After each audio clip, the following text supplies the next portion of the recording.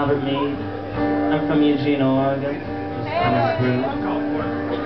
On the way home, I got some CDs for sale for five dollars when I get home.